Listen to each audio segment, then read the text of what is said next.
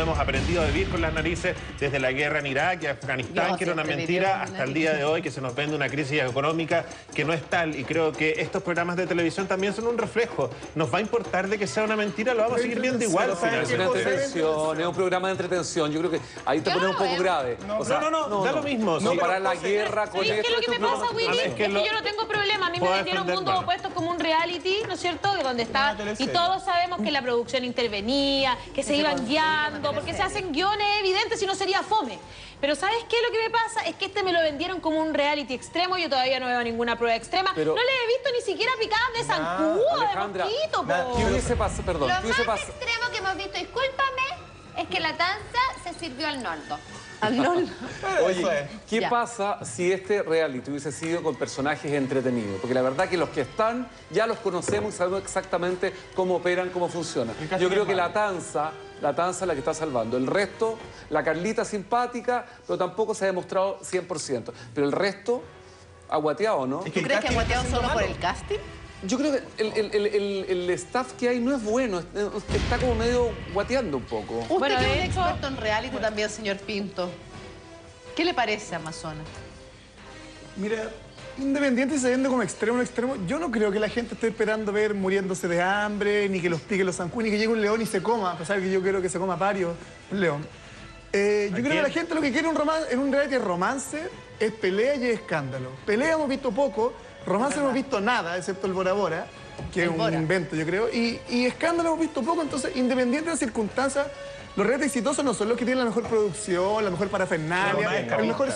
Gran Hermano es una casa de cinco personas que dan copete y se dan todos con todo y todo el mundo lo ve y es espectacular. Claro. Acá, independiente, me da lo mismo si está pauteado o no, si los boras son falsos o no son falsos, me da lo mismo, me da lo mismo. Lo que me importa es que yo quiero ver a, a Tanza agarrándose con Juan de Dios, que llegue Chanchulín y se coma a Rosemary. Eso Bueno, lo pero es que Daniel, y delante José dio en el clavo, a ver.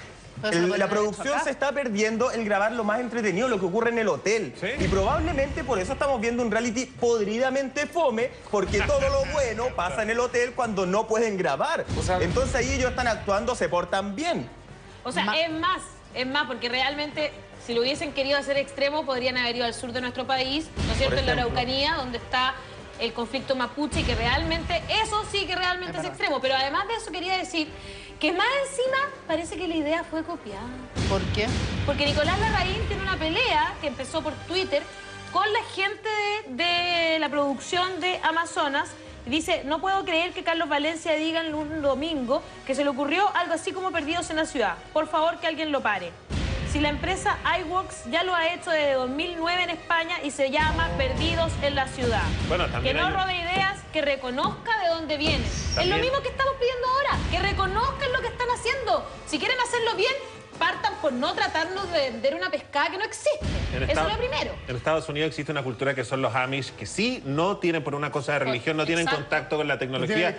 Y también hay un programa No, donde los. Amish van a Nueva York y se impresionan con todo. Sí, bueno. O sea, gastaron plata de más. Podrían hecho el Parque O'Higgins o el Valley High, esta cuestión. Claro, y el tenía Valley lo mismo, High. y le salía más barato. En el Valley Hay personajes como la gente, ¿qué, qué está aportando Clarice Nosotros sí aportamos muchas cosas, Daniel sus- Pinto, porque aquí Guaguito me dijo, vamos a descubrir quiénes son los Bora y para eso voy a traer y voy a conseguir un Bora de verdad para que la gente en su casa pueda hacer la diferencia entre lo que está mostrando Amazonas y lo que es la realidad de este Bora en la San